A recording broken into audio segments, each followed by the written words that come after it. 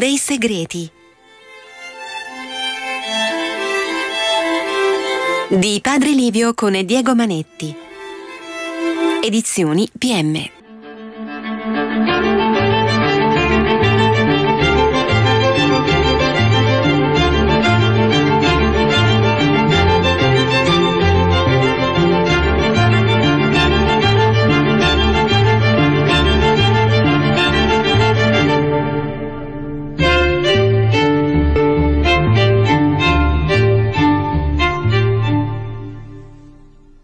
Un cordiale saluto a tutti i radioascoltatori da parte di Diego Manetti, un ben ritrovati sulle frequenze di Radio Maria e con me con il direttore padre Livio Fanzaga. Proseguiamo nell'esame di questo tempo dei segreti in cui già ci troviamo immersi attraverso l'esame dei segni degli ultimi tempi e se la volta scorsa abbiamo esaminato il dilagare dell'ateismo il dilagare della immoralità e anche del sincretismo religioso, oggi verremo a parlare di un altro segno di questi ultimi tempi, è il segno della cosiddetta stagione dei martiri.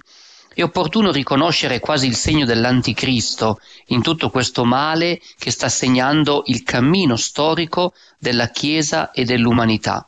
E se possiamo fare riferimento alla prima lettera di San Giovanni Apostolo, per riferire eh, quella che è l'azione anticristica in ordine alla menzogna. Ricordiamo che proprio San Giovanni si interroga dicendo ma chi è menzognero?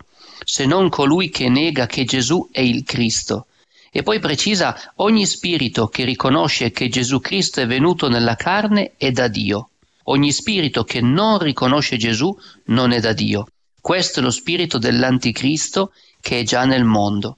Certo che questo eh, segno della menzogna, dell'impostura, non ci deve spaventare. La regina della pace ci rassicura, non temete, sono con voi. E al tempo stesso anche San Giovanni ha questa bella espressione quando dice voi siete da Dio figlioli, avete vinto questi falsi profeti perché colui che è in voi è più grande di colui che è nel mondo. Come dire, la vittoria di Cristo ma accanto a questa ecco, eh, arma così eh, subdola, così difficile a volte da, da, prevedere, un po' come un gas che entra in un ambiente e non si vede ma causa la morte di quanti ci vivono, portando alla morte della fede in questo caso, ecco che c'è un'altra arma ancora più forte, molto violenta, che è la furia omicida. Eh, quella seconda arma anticristica di cui parla lo stesso Gesù nel Vangelo secondo Giovanni, capitolo 8, versetto 44, quando dice proprio che il diavolo è menzognero e omicida. E anche la Madonna stessa, nel messaggio del 25 marzo 1990, quando ci ha detto di volerci proteggere da Satana, che intende distruggerci con ciò che ci offre, cioè vuole uccidere la vita di grazia nella nostra anima, ma anche la vita dell'umanità attraverso inganni, seduzioni e peccati. Questa seconda arma, Padre Livio, è un segno preclaro dell'avvicinarsi degli ultimi tempi. Mi sto riferendo proprio alla persecuzione contro i cristiani. Siamo chiamati come cristiani a rendere testimonianza, lo ricorda anche il Catechismo della Chiesa Cattolica ai numeri 2471 e seguenti. Nelle situazioni in cui si richiede che si testimoni la fede, il cristiano ha il dovere di professarla senza equivoci. Il dovere dei cristiani è agire come testimoni del Vangelo e poi il martirio è la suprema testimonianza resa alla verità della fede. Forse un tempo, Padre Livio, avremmo letto questi passaggi pensando che si potessero riferire solo agli esordi della Chiesa, ma oggi sono quanto mai attuali, perché oggi uno dei segni degli ultimi tempi, uno dei segni dello scatenamento satanico che prelude al tempo dei segreti, è proprio la persecuzione violenta nei confronti di Cristo attraverso l'uccisione di tanti cristiani. Sì, a questo riguardo pare giusto che sia distinguere due tipi di persecuzione. Cioè c'è una persecuzione dei cristiani che comunque è impossibile a quella dei primi tempi della Chiesa, cioè la persecuzione dei pagani, nei confronti diciamo, di questa nuova religione, per cui capisco benissimo che per esempio i cristiani in India, per fare un esempio, che è un continente, un, miliardo e 300 milioni di persone, dove sappiamo che l'induismo è una, è una religione, chissà perché, la si ritiene tollerante, invece è molto intollerante. Tu pensi che il Buddha è nato in India, che il buddismo aveva, aveva quasi conquistato l'India e l'induismo in poco tempo è riuscito a risorgere e a cacciare via i buddisti dall'India in India sono meno buddisti che cattolici, per dirtene una, no?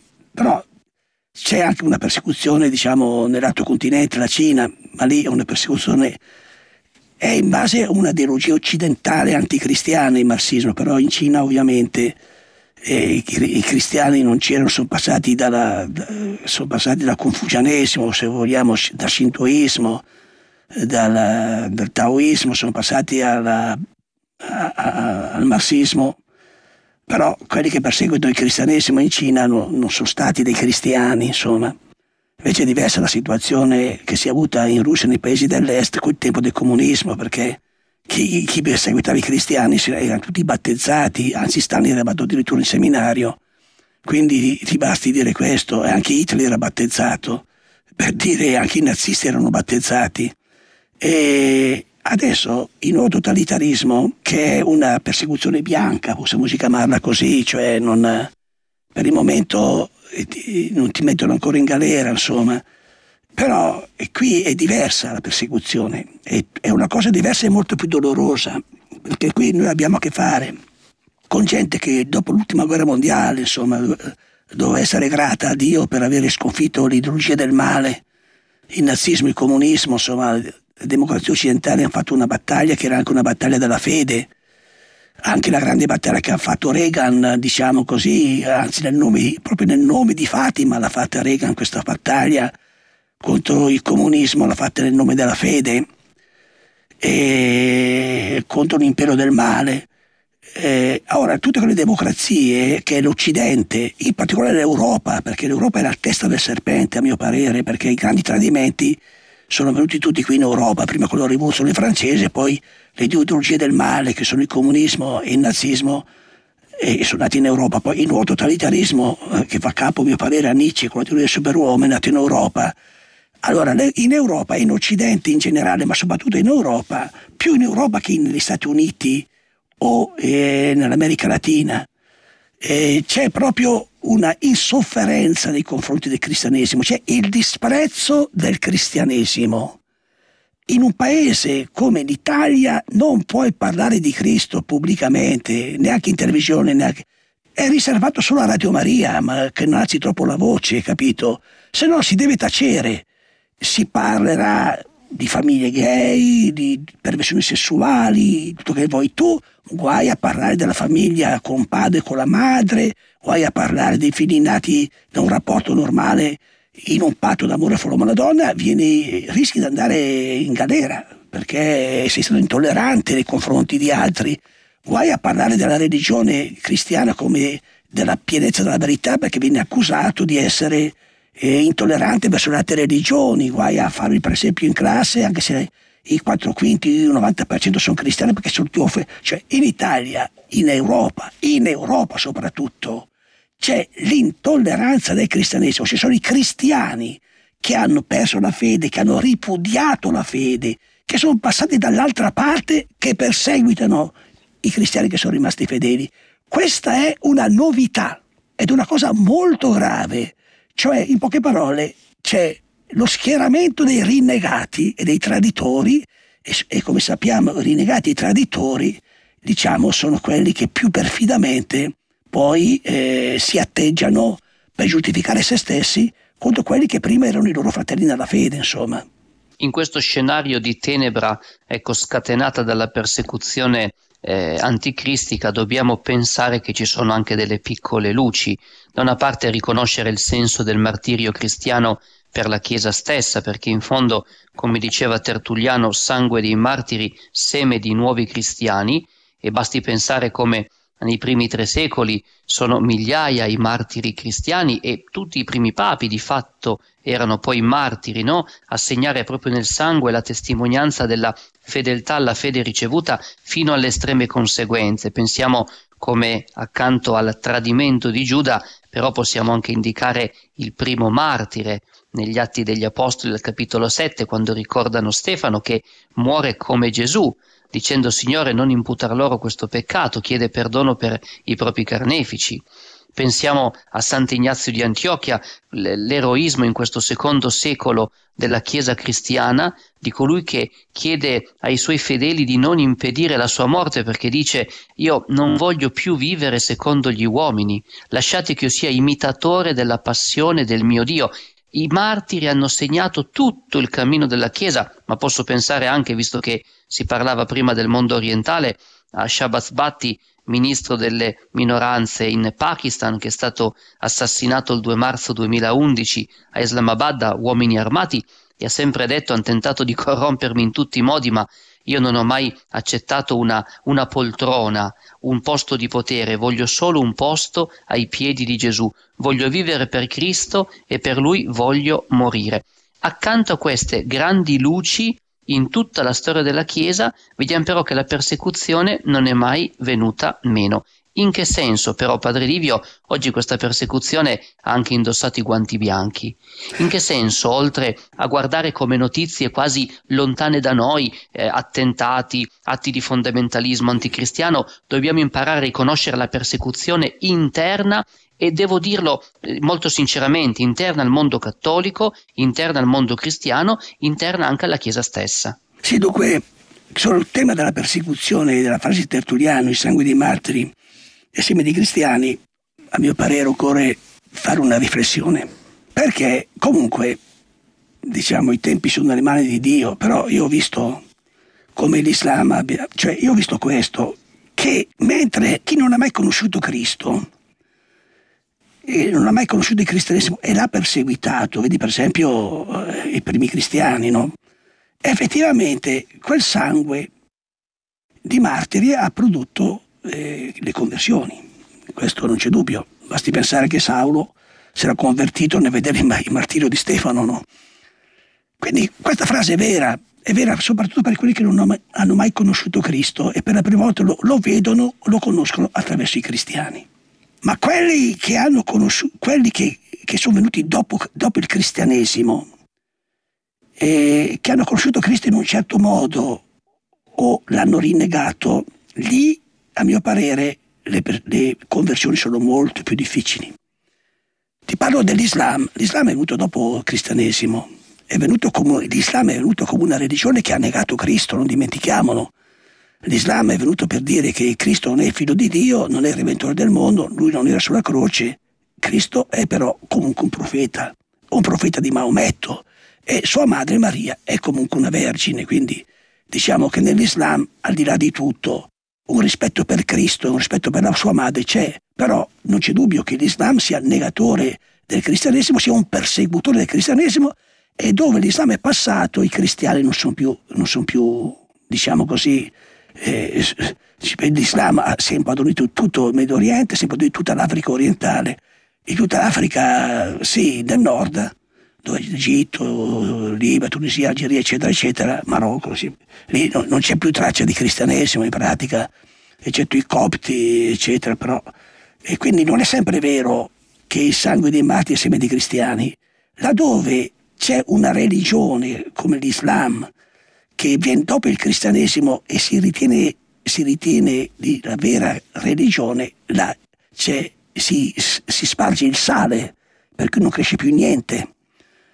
La medesima cosa vale anche per quanto riguarda i, diciamo, il, l'Occidente, cioè laddove, eh, laddove si, si, si, sono eh, si affermano diciamo, si afferma la religione umanitaria, si afferma la religione dell'uomo che si va a Dio, laddove c'è il tradimento, detto in parole povere, c'è il tradimento delle masse nei confronti di Cristo, la, le, la, le, conversioni sono molto, ma molto più difficili, nonostante i martiri e nonostante le testimonianze. Io a questo riguardo sono piuttosto pessimista, cioè mio, a mio parere, quando la Madonna dice che molti verranno su, dove c'è il segno, si inginocchieranno ma non crederanno, sono sono gli ex cristiani dell'Occidente che vanno per vedere, sono i modernisti che vanno per vedere ma non si convertiranno.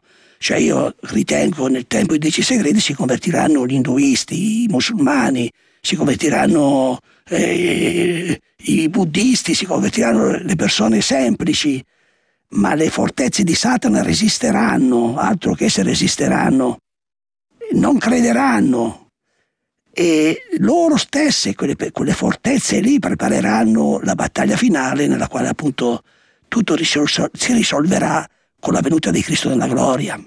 Potremmo tentare di unire i due estremi in quella che è la storia bimillenaria della Chiesa pensando alle origini, quando Gesù stesso rivela la natura di quella che è la persecuzione scatenata contro chi porta il suo nome, cioè contro i cristiani, al capitolo 15 del Vangelo secondo Giovanni, versetto 18, quando dice se il mondo vi odia, sappiate che prima di voi ha odiato me. Possiamo dire in realtà è come una vocazione quasi naturale quella del cristiano ad essere perseguitato perché la Chiesa rivive la passione di Cristo, ma se veniamo alla chiusura del cammino storico della Chiesa mi colpisce anche il riferimento alla terza parte del segreto di Fatima, quando si vede l'immagine di questi due angeli che con annaffiatori di cristallo raccolgono il sangue dei martiri per farne proprio seme di nuovi cristiani.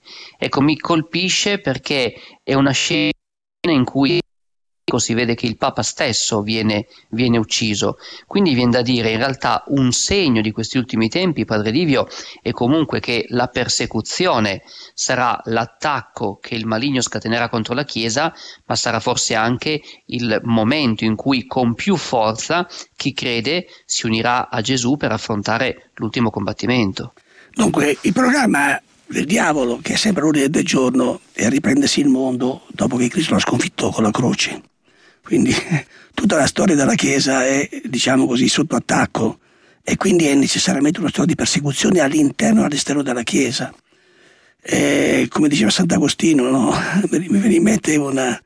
Henri Marroux, che era un grande storico di Sant'Agostino, lui diceva che eh, era un francese, diceva che le persecuzioni sono o de l'Église, cioè le persecuzioni che abbiamo fatte contro la Chiesa, o par l'Église, o le persecuzioni che vengono fatte dalla Chiesa, quindi questo purtroppo è una realtà sempre possibile, eh, lo vediamo nella storia della Chiesa questo, e soprattutto i gruppi ereticali che dicevano di essere la vera Chiesa come hanno nociuto molto alla Chiesa.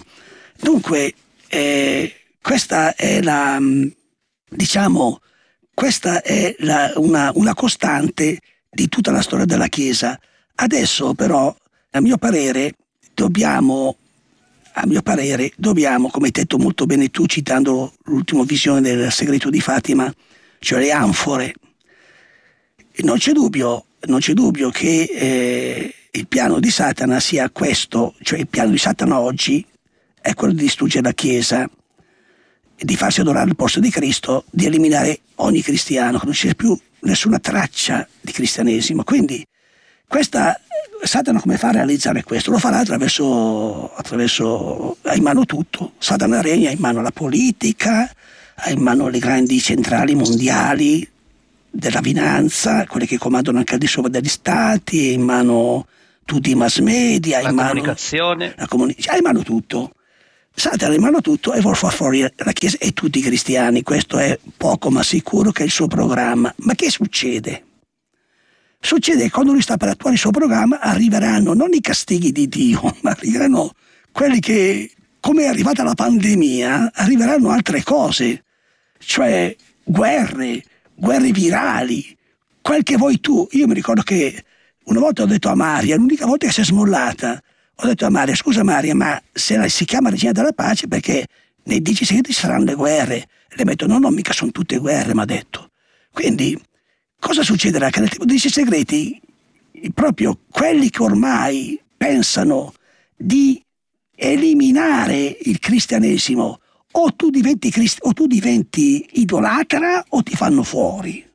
Questa è l'opzione che avremo davanti, ma in quel contesto accadrà qualcosa di inatteso, dal quale appunto la Madonna ci preserverà dicendolo tre giorni prima. E allora tutti i giochi saltano perché l'umanità vedrà che alla fine chi si è salvato è la madre di Dio.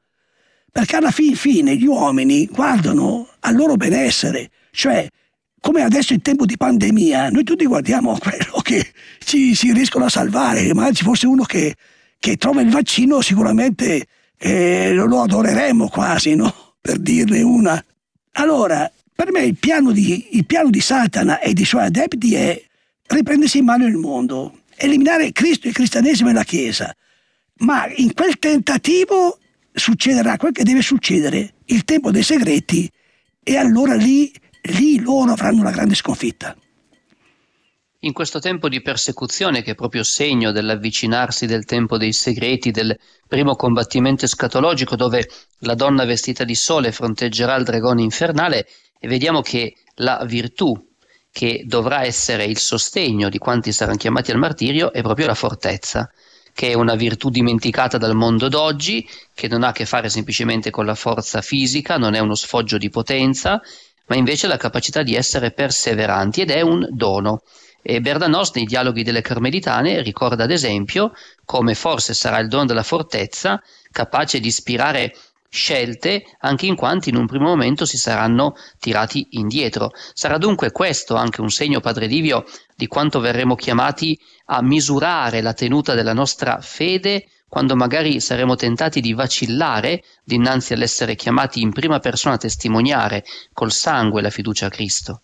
Sì, sì, a questo riguardo io credo che va detto una cosa. Cioè, ho sentito dire da persone che sinceramente no, no, avrebbero dovuto non dirlo, che la salute viene al primo posto. Scusate, allora Gesù Cristo quando ha detto non abbiate paura di chi uccide il corpo, ma di chi può mandare corpo e anima all'inferno. Scusa, eh, nella genna. Oppure il salmo che dice la tua grazia vale più della vita. Cioè, vorrei dire che chi rinnega Cristo per paura rischia di andare all'inferno. Diciamo le cose come stanno. Perché l'ha detto Gesù Cristo chi crederà sarà salvo, chi non crederà sarà, eh, sarà condannato. Quindi chi rinnega Cristo, se non si pente, viene condannato. E quindi questo è l'essere cristiani, cioè dobbiamo, dobbiamo dire a Gesù, Gesù, piuttosto che rinnegarti, piuttosto che tradirti, muoio.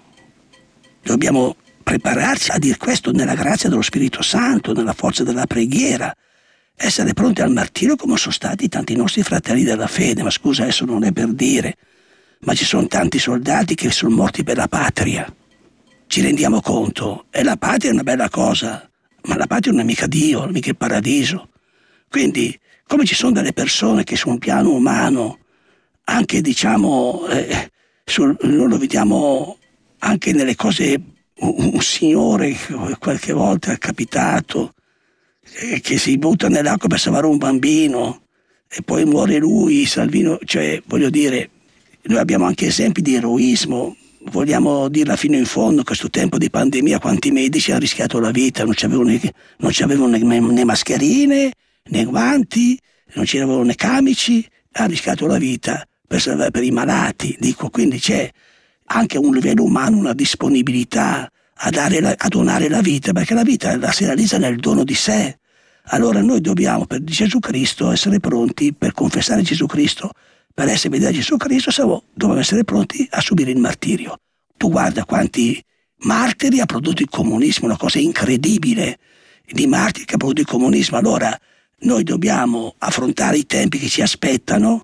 Adesso a un martirio a colpi di spillo, perché si sa eh, bisogna portare molta pazienza, bisogna pregare per, per i persecutori, bisogna avere lo sguardo della compassione perché sono delle, degli allocchi che, di cui Satana si prende gioco e quindi, come ha detto la Madonna, si raccoglieranno quando saranno davanti al tribunale di Dio, cosa li aspetta, quindi dobbiamo essere preoccupati per la loro anima, pregare per la loro salvezza eterna, no? Come ha fatto Santo Stefano, no? E come ha fatto Gesù sulla croce soprattutto. Però che a mio parere che noi dobbiamo mettere nella nostra professione di fede. Oggi dire Signore piuttosto che rinnegarti preferisco morire e questo deve essere, deve essere una, una, scelta irreversibile. Una scelta irreversibile. No una distinzione che hai fatto sovente sulla persecuzione riguarda anche lo scenario in cui hanno avuto luogo.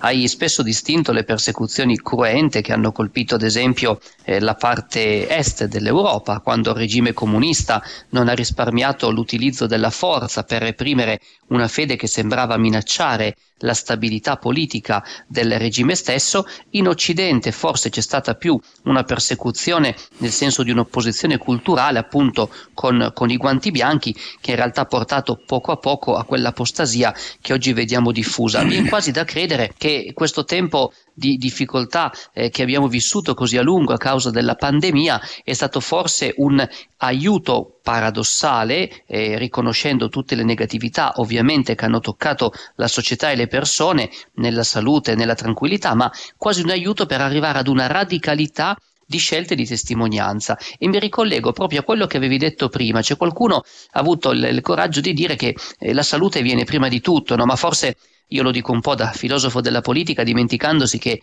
i beni fondamentali e i beni principali sono eh, beni di ordini diversi. La vita è un bene fondamentale perché senza quello non se ne hanno altri, ma la libertà, ad esempio, è un bene principale.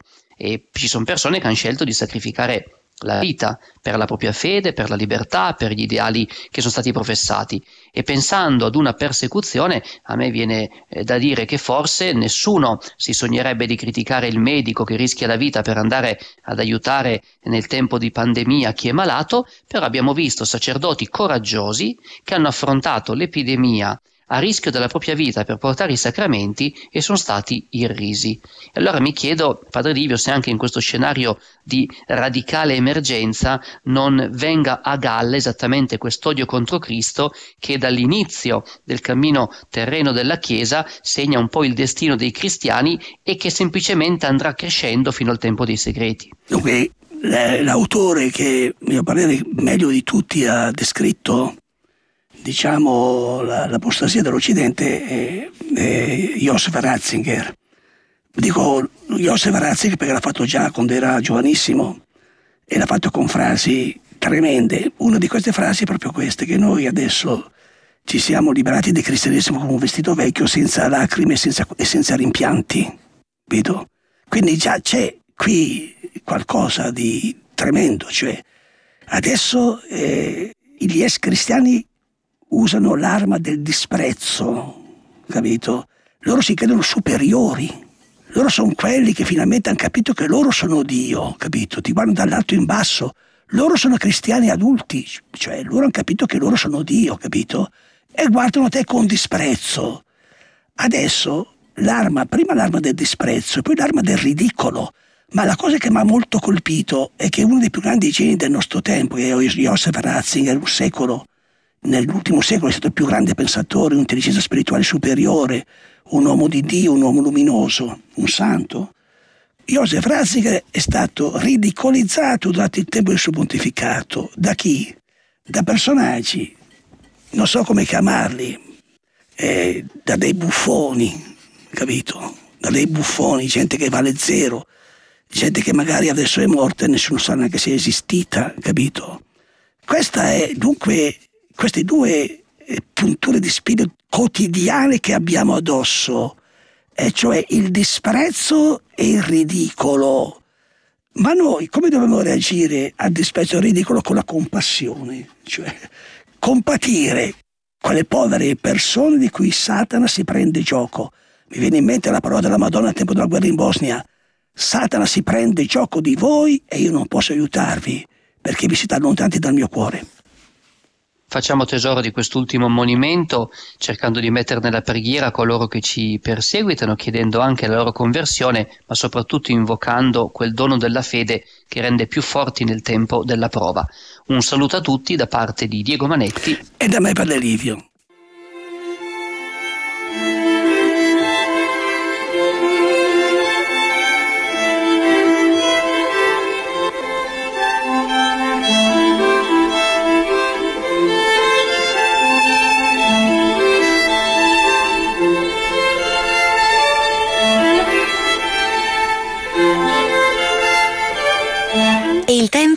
Segreti. Di Padre Livio con Diego Manetti. Edizioni PM.